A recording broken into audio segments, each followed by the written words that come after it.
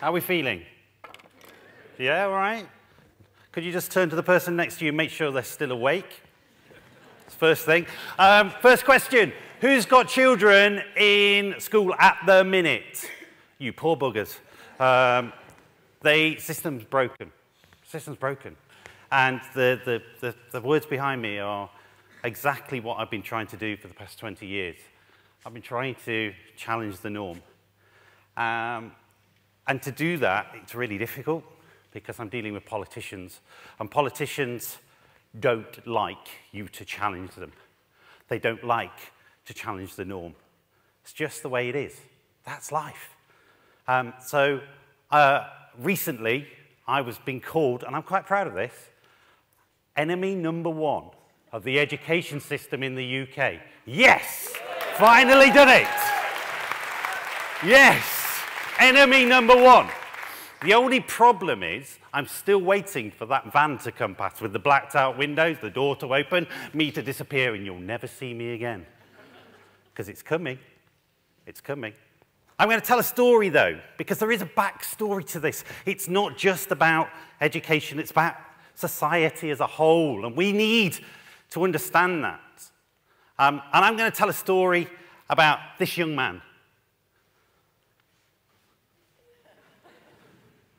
Yes, it's me. Yes, it's me. Um, uh, I show this photo. You know, when I go to the States and do this talk, I, I show this photo, and they, uh, in the States, they all go, oh. Here in the UK, they go, oh, twat. oh, fucking hell.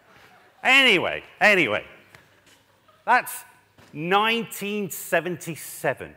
I was five. You can work out how old I am now. Uh, I came from a very impoverished background. Dad was a miner, mum was a cleaner. We had nothing. We didn't have carpets. Uh, we had one of those um, plug-in cookers with the two rings. We didn't have a fridge. We didn't have a telly. Sounds terrible, but I loved it. I loved it. I didn't know anything different. I slept on the floor in my bedroom. I didn't know any different. That was life.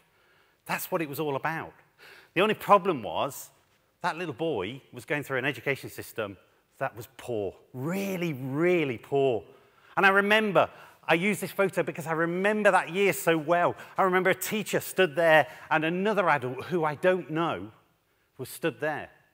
And the teacher said to this other adult, Don't bother teaching him to read, he's going down the pit. And I remember that as if it was yesterday. That was the first time that I realized that my life, my dreams, might not become a reality. And when you're that old and your dreams, the only thing that you've got when you've got nothing, other people don't care about them. That was hard because I did have a dream. That dream was to fly aeroplanes. That's what I wanted to do. I used to watch aeroplanes at the weekends. I used to get on my cycle. I used to ride five miles to watch them take off and come back. All I wanted to do was join the Royal Air Force. But how does a boy from an impoverished background get anywhere close to that? Well, I decided at the age of 12, there's only one person who's going to make it happen, and that was me. So I got a job. And I got a job because I knew my chances of becoming a pilot in the Air Force were greatly increased if I had a pilot's license. it's true. So I got a job washing pots at a local restaurant six nights a week, age 12. I started at seven, I finished around midnight. I did that for five years. I didn't spend a penny, not one penny. And at the end of it, I had enough money to get my pilot's license. 17 and four months, I qualified as a private pilot. Get me. Did it.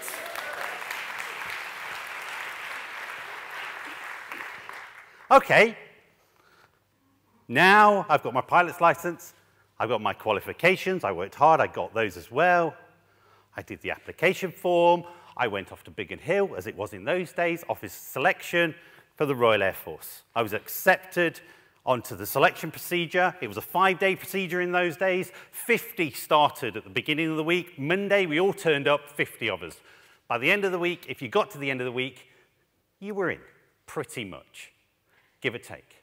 And every time, it was normally every sort of break, they would call a few away, and they'd go through a door, and you'd never see them again. Where they went, nobody knew. But as the week went on, there was becoming less and less and less of us. By the end of the week, there was three left. And guess what? I was one of the three. There was me and two lads from private school. Nice guys, actually.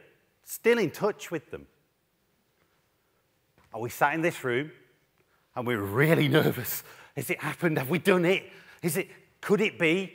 Could I have achieved the dream? First boy goes in. He comes out, he's high fiving us, he's hugging. We're like, yes. Next one was called in. He comes out, he's high fiving, he's hugging, we're all hugging together. And I thought, I've done it. I've actually done it. All that hard work paid off. I was called into the room. There were two RAF officers standing, uh, sitting in front of me. I went and I sat down at a chair. The first RAF officer said to me, Sonny, well done. There are very few who get to Friday. You've passed everything. Not just passed everything, passed everything with flying colours. Yes, I thought. The second one piped. But no commissioned officer in the Royal Air Force has a father who reads the Daily Mirror. And your father reads the Daily Mirror. We're not selecting you. However, we do have a cook's job, and you can have that instead. Late 80s, miners weren't overly popular. Do you remember? My dad was a miner, and society, as in the system, didn't like miners. And because of where I came from and the family I came from, my dream was destroyed. I remember that trip home, feeling like the, the world had fallen from beneath me. I spent the next six months feeling like that. I got a few part time jobs. But it got to the point where I had to do something with my life. So I decided that I wasn't enjoying these jobs. I'll, I'll do something. I'll, I'll go into some kind of business. I'll buy a business. And happened, it fell in my lap. Somebody came along and said, I'm selling my business. Do you want it? And I said, Yeah. Fantastic. How much? He said, A pound. A pound? Wow. What kind of business is it? What do you get for a pound? He said, You get £300,000 worth of debt.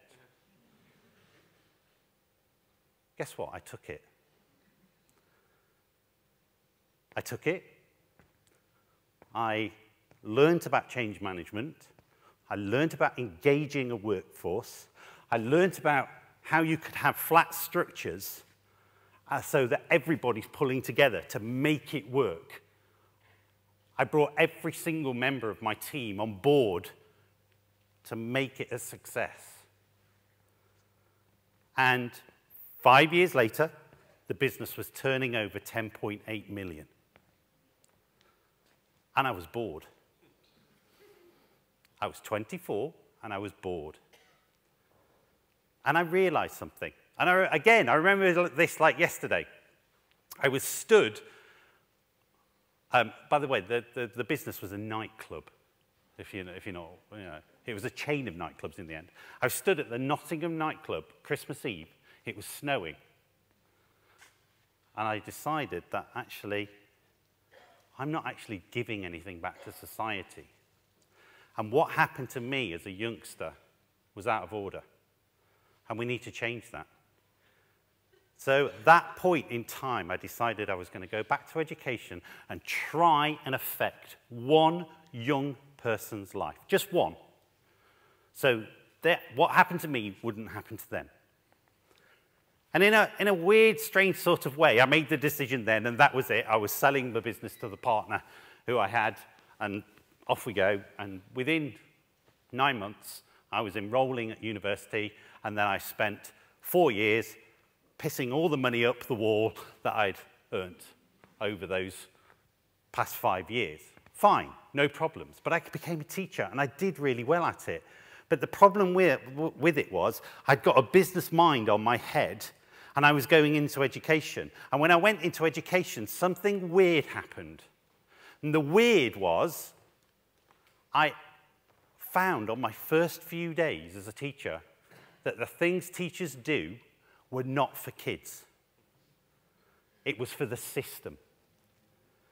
And I asked one question, and I've not stopped asking that one question.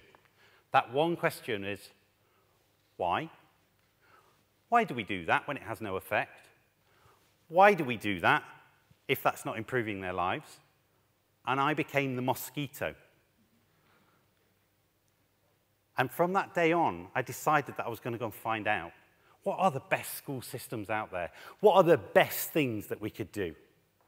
So I traveled the world. I went to the best schools in the world and I brought all that information back with me. And I said, right, one day we're going to have a school and we're going to put all of this in there. That chance came in 2009, where I saw an advert in the newspaper, and all this advert says was, please save our school. We need a head teacher from the parents. I decided to go and have a look at this school. It was in a place called Lincoln. I hadn't really been to Lincoln before. I thought, oh, nice day out. We'll go to Lincoln. And I got to this school, and instantly I knew this school was having problems. The reason I knew is because there were kids running around the playground, but it wasn't playtime. Not only that, there were two members of staff doing this to a kid who was sat on top of the gate. Please come down. Please come down. And I got to the gate, and he just looked down at me and went, I'm not getting down. Well, I said, Can I come through? Yeah, no problem. So I opened the gate, he swung out with the gate, and I swung it back again and shut the gate. I went in that school and it was chaos. It was like Beirut on a bad day. There was no teaching and learning going off, and the kids were running riot. After about half an hour, I walked back to the door. I walked back to my car going, no chance. Nobody's going to take that school on. It's the worst I've seen. But by the time I got to my car and I grabbed, my, grabbed the car door, I remember looking back up at the school door and thinking, if I don't, nobody will. So I applied for the job. Guess what? I was the only one who applied for the job. Guess what? I got the job. I don't know why, but I did. and I think this is really important because as soon as I got the job, the local authority said to me, I'd signed the bottom line. There's a contract signed. Local authority turned around and went, oh, there's one thing we forgot to tell you. We're closing this school in six months' time if you don't improve it. I was the 15th head teacher in seven years. What chance did I have? What chance did I have? Anyway, I thought, well, I will give it a go. We'll give it our best shot. And on the first day was an inset day, and all the staff sat there growling at me. They're all looking at me as if to say, oh, here we go, another planning format that's going to change the world. And I turned around to them and I said, look, hold on a minute. If we're going to do this, we've got to do this together. But if we're going to do this, we're going to have to change our mindsets as well.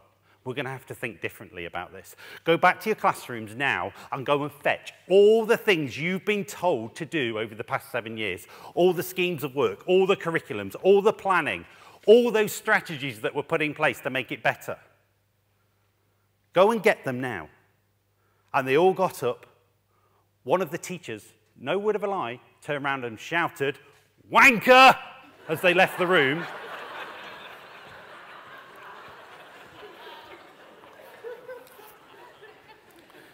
I thought, whoa, this is going to be harder than I thought. uh, anyway, they'd gone, and I prepared outside some fire doors here I ran out. I opened the fire doors and I dragged in one of those great big steel bins, you know, with the three wheels on the bottom? Huge thing. I dragged it into the hall before they all came back. And I stood there dead coolly against this bin. and they all came back in, even the person who called me a wanker. And I said, put all that in there. Put all that in there. All of it. And they reluctantly did it. And then I dragged that bin outside and I said, come with me. I poured diesel in that bin and I set fire to it. It was great. From that moment onwards, I proved to my staff that we needed to think differently. And I went back in that hall and I said, I'm not going to tell you how to teach. I'm not going to tell you what to teach. You're not going to use this to teach. You're going to use this to teach. Go and do it. And they did. The worst, well, the fifth worst, let's not exaggerate, the fifth worst school in the country became one of the best schools in the country in under two years. That was the success story. Those kids were amazing. Those same, same staff. And the person who called me a wanker is still there today. How? I don't know.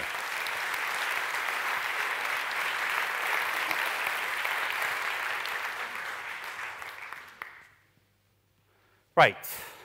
So to understand the education system, we've got to understand where it comes from. The education system actually is fundamentally broken. And that story sort of illustrates that if you think differently, you can do differently. You can change the education system, but the government don't want you to. Why? Well, the education system came around in the 1870s, and the first education bill was published. Everybody had to go to school. And at the time, well, even now, people still think that people went to school to improve their chances, to improve their life chances. Wrong. It was nothing to do with that. It was to prepare the young people for the factories. It was to make them compliant. The Victorian factories were very like school.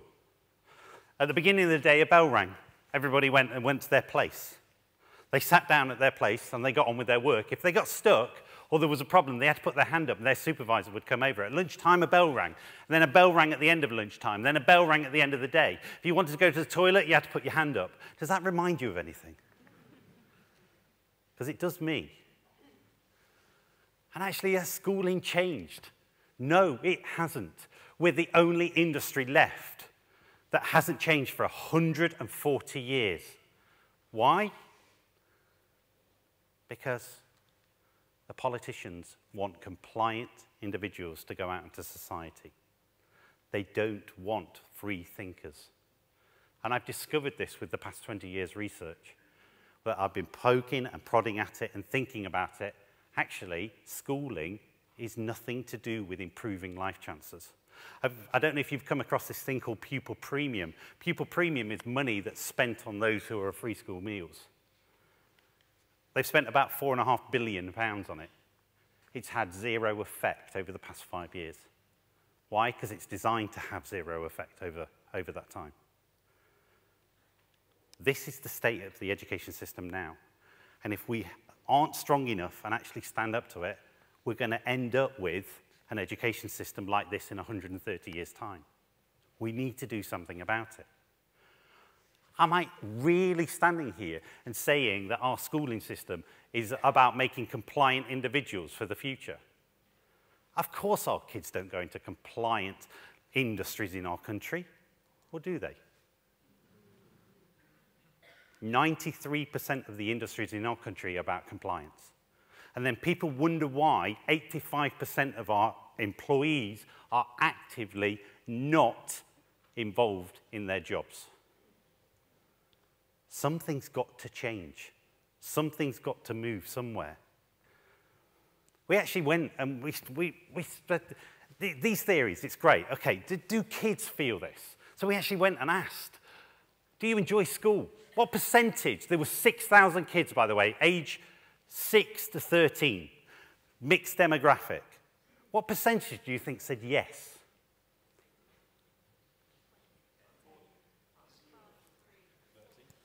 22. 22% of them said yes.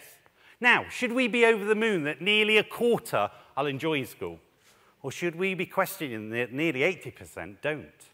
We went on from that and we asked this question What's the best thing about school? Shout at me. Lunch times, break times, some I would have said PE, some would have said art, some would have said music.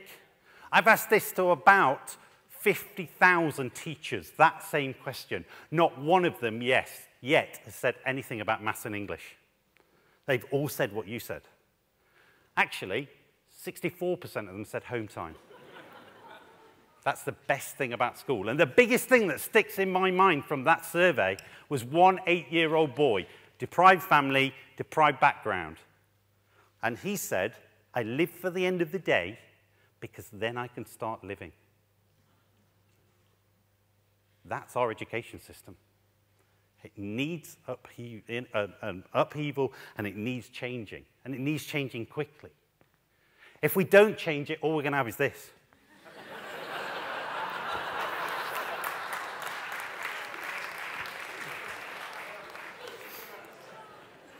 I'm using this as a metaphor for our industries as well, our employees that are out there. We've got to get the whole of society moving. Why is this country one of the only countries that aren't doing that with education? Why are we holding our kids back? It seems really bizarre. So that's a question that I've been asking for many years now. One of the things I did was actually, let's go and try and find the answer. Let's actually look at these young people who are coming in and let's think about them as little human beings. What do little human beings need? Hold on a minute. Let me change that. What do little human beings need and what do big human beings need? To be engaged in their professions, to be engaged in school. How do we get them excited about work so they're excited at work? And how do we get the leaders of the future to excite our workforce and make it more profitable and productive? And actually sort out some of the moral problems that we've got now and what's coming.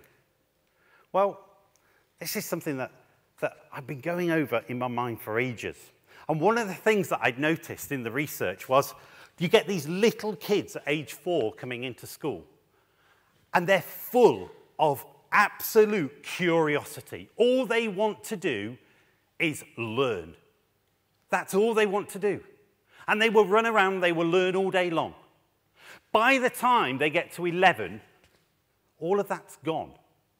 And I'm noticing more and more that those 11 year olds are putting their hand up and asking if they can turn the page. What's happening between there and there? How are we taking that away from them? But more than that, Whose fault is this that we're taking that away from them? That passion for learning, that drive, that desire? Well, quite simply, it's our fault. Our fault as educationalists, and we've got to do something about that. Because if we don't, the others won't.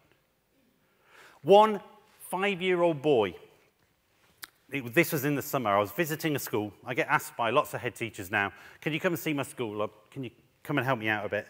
Um, summed it all up for me. This little five year old boy came up to me like this. Didn't know me from Adam.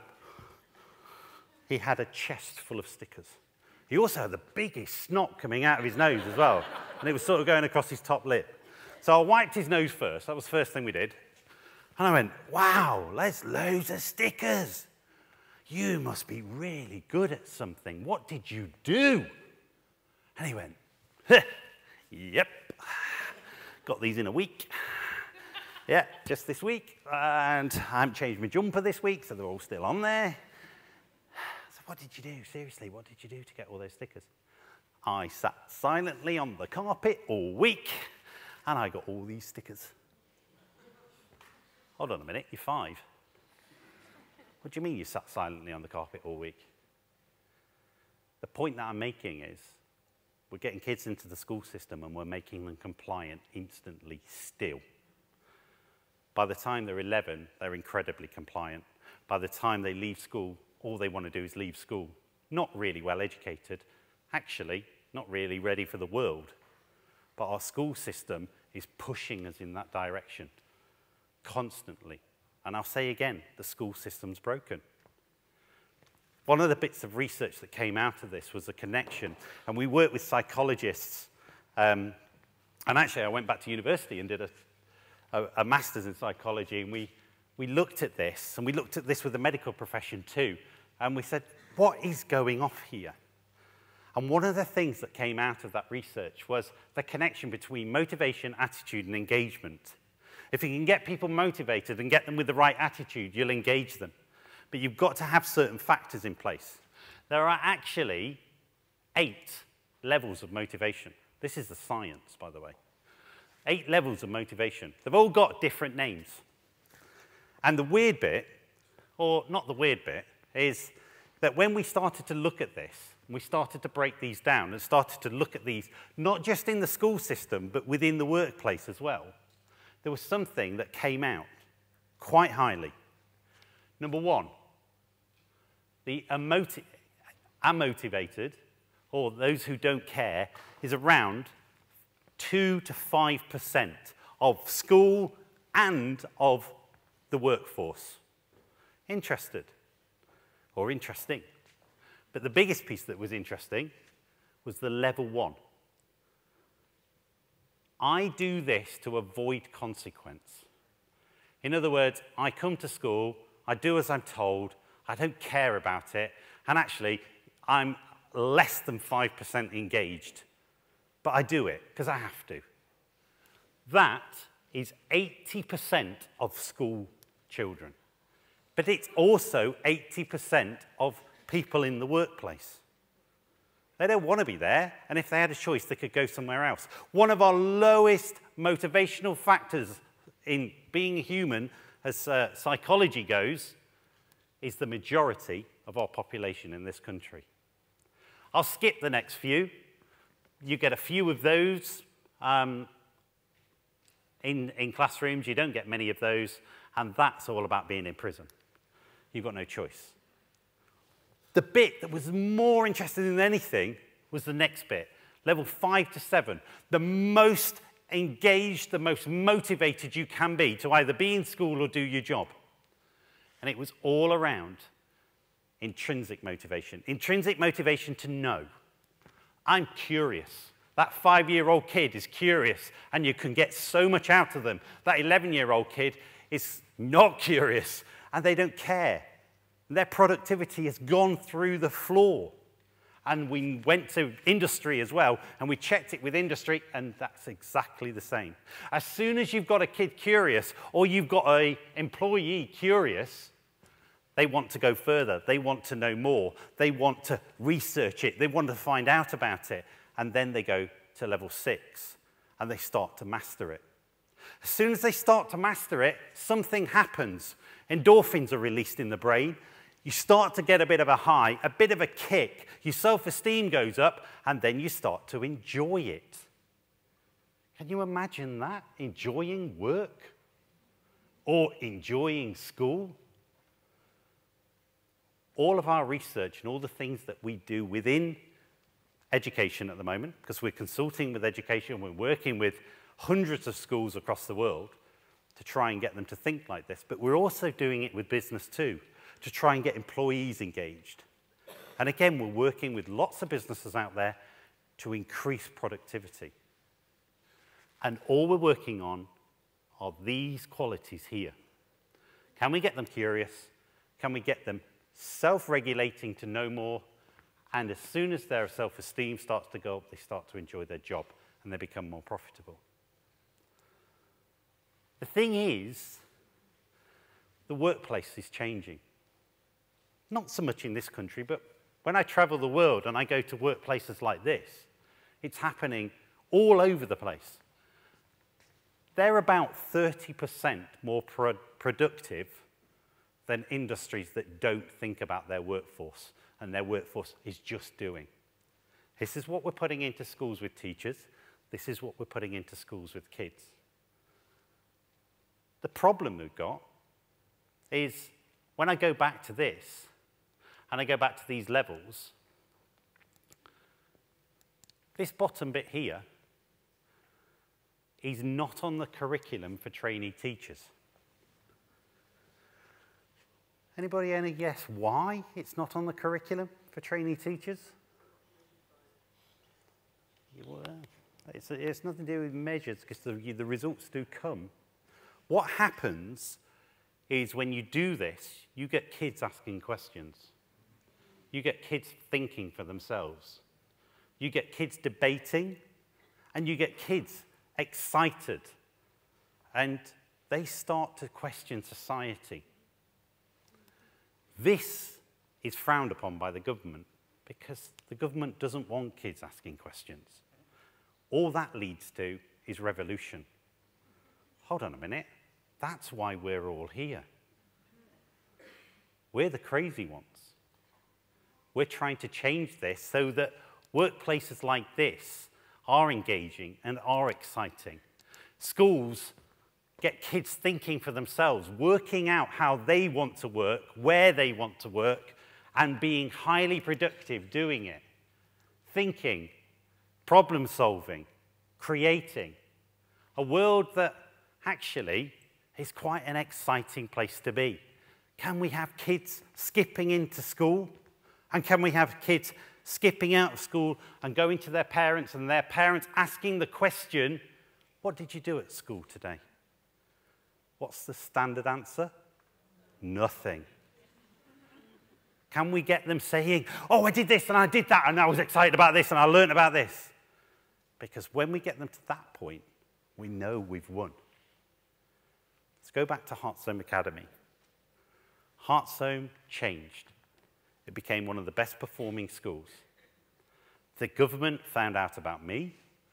They found out about the school.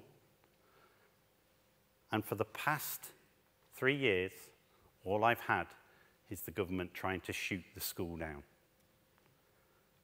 They're not far off succeeding in beating it. The problem isn't necessarily that we can't do it because we can and we've proved it. The problem is there's not enough of us, parents, to shout loud enough for our kids to get a decent education. The other bit of my research recently has been around the difference between the curriculum in the state sector and the private sector. The state sector curriculum has narrowed to a point where there's not much left. The private sector has expanded and they're getting really good curriculum basis. Why? Maybe that's a question you can speak about among the people in the, in the room. We want to see faces like this in school. And actually, if I see that at any time during any day, I know that I've made a difference to one child. Thanks for listening.